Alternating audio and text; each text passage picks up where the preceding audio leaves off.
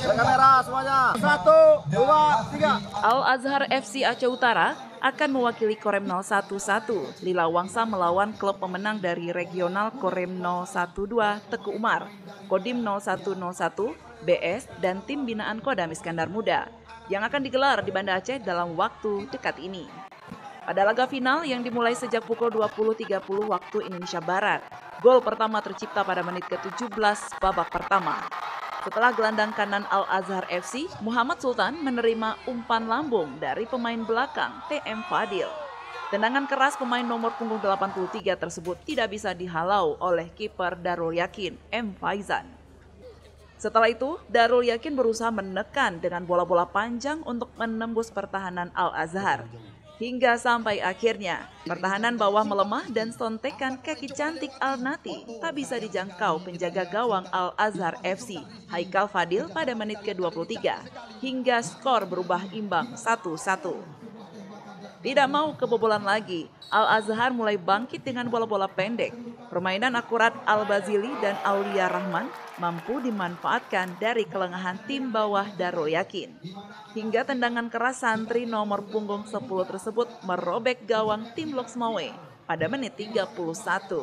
Sehingga skor menjadi 2-1 sampai babak pertama selesai.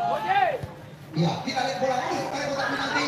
Namun mudah saja Trofi Piala Kasat Liga Santri PSSI 2022 Regional Korem 011 Lila Wangsa menjadi milik tim kuat Al-Azhar FC Aceh Utara setelah mengalahkan tim lawannya Darul Yakin FC Kota Loksmawe dengan skor 2-1.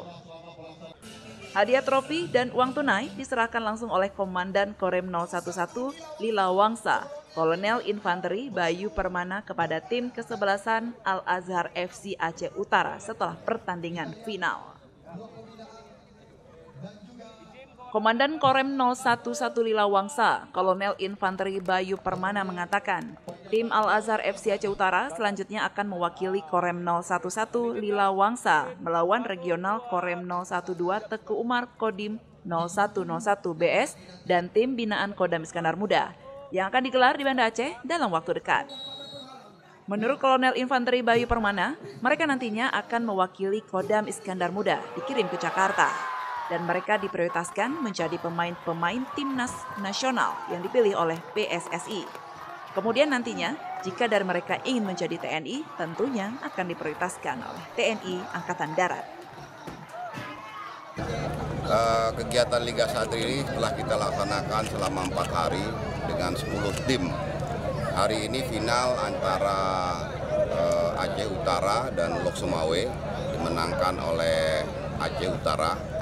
Kemudian nanti kita akan kirim ke tingkat Kodam di mana nanti akan ketemu di sana perwakilan dari Korem 011 Lila Wangsa, kemudian Korem 012 Tengkumar, Banda Aceh, Kodim Banda Aceh, kemudian Kodam sendiri mengeluarkan berarti hanya empat tim yang akan berlaga di tingkat Kodam yang nantinya akan dikirim pemenangnya akan dikirim perwakilan Banda Aceh untuk berangkat ke Jakarta. Kalau saya melihat bahwa mereka diprioritaskan menjadi pemain-pemain nasional yang nantinya akan dipilih oleh PSSI sehingga menjadi pemain-pemain nasional. Kalau kemungkinan memungkinkan untuk masuk TNI maka akan menjadi prioritas untuk masuk TNI di para eh, pemain Liga Santri ini. Piala Kasat Liga Santri, turnamen ini baru pertama kali digelar di seluruh provinsi Indonesia.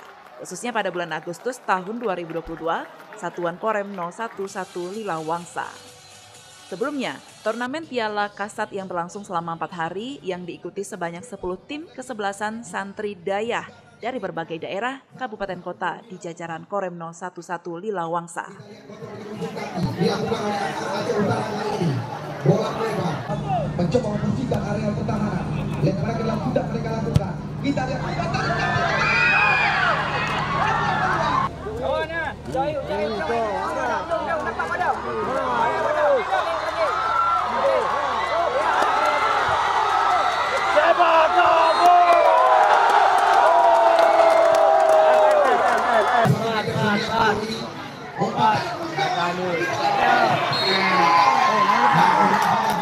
Terkuat daripada tim Al-Azhar Aceh Utara keluar sebagai sang jabat tangan lebih daripada tanda tangan.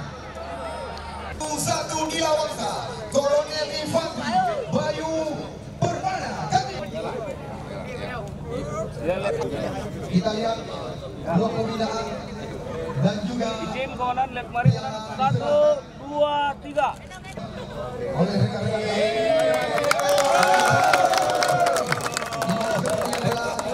Dua, tiga. Pastikan pastikan gambarnya Mas. Pastikan gambarnya lihat.